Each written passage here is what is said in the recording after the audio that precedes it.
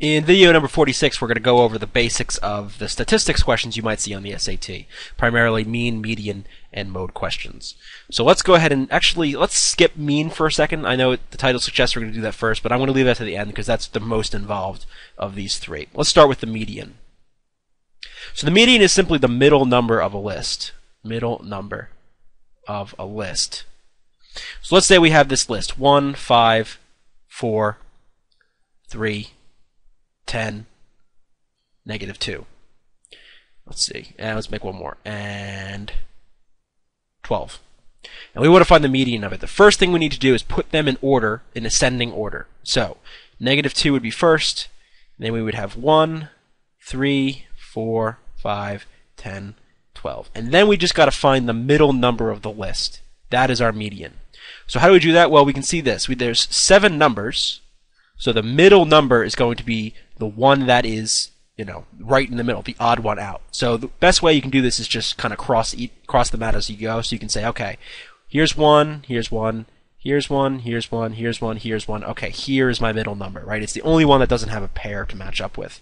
Another way you can see it is that there's three numbers over here, there's three over here, so that's equal. So this is that middle number that divides those two groups. So the median for this one would be four. Now, what happens if you don't have an even number of, uh, or an odd number of, of, of numbers or elements there? Well, this is what you do. Let's say your list, when you put it in order, is 3, 7, 8, 9, 12, 18. And we want to know what the median is. Well, note, we've got six numbers, so there's no way, here's 3 here, here's 3 here, or here's 2 here, here's 2 here. There's no way to get a middle number. Well, what you do in that case is you just take the two middle numbers, so in this case it'd be 8 and 9, right? Because you've got 2 over here, 2 over here. These are your two middle numbers, and you average them. Um, so we'll talk about average in a little bit, but basically you just take the number that's in between these two. So here it would be 8.5. And you can also get that by, again, averaging them, just doing, adding them and dividing by 2, and that will also get you 8.5. And that's pretty much all you need to know for the median. Again, the key is to put it in order first and then find the middle number. You can't find the median of a list like this because you might think, oh, it's 3, there's your middle number. Well, no, you've got to put it in order in order to figure that out. So that is the median. I think that's pretty much all I have to say. Uh, mode is even more straightforward than the median. The mode is the number in the list, or the, the element, that appears the most. That's the way to remember it. It's the number, the mode appears the most. So, again, let's say we had a list like this 2, 7, 8, 7, 3, 4, 7. What would the mode be here? Well, here we don't really care about the order, we just care about the frequency, the number of times a unit or element appears in the list. So the mode here is going to be 7, right? Because there are three sevens, and that is the one uh, that appears the most of this list. You've got 1, 2, 1, 8, 1, 3, and 1, 4, so the 7 appears the most. Can you have two modes? You can. Uh, you can't have two medians, you can't have two averages, but you can have two modes. So let's say for a minute we had a list like this 3, 3, 4, 6, 10, 2, 2. What would the mode be? Well, if we look at the list, we've got two threes and we've got two twos. Those appear the most, right? There's only a single one of each one of these left. So actually the mode in this case is both 2 and 3. So that's the only exception of the statistic questions where you can have more than one mode in a list. Uh, alright, now that we've done those two, let's go ahead and work on the mean. Or the average, or you'll maybe seen it written as the arithmetic mean. All the same thing. And a mean is essentially, you know, the average. It's the number. I don't know. I don't know a good definition for average. I guess the best way to see it is just um, by math, the mathematic definition of it. And the mean or the average, so I'll call it the mean for now, is simply the sum of the values divided by the number of values. So let's say you had a test where your grades were 95, 95, 100, 80, and 70. And you wanted to know what your average was for the quarter. Well, first we'd add these up.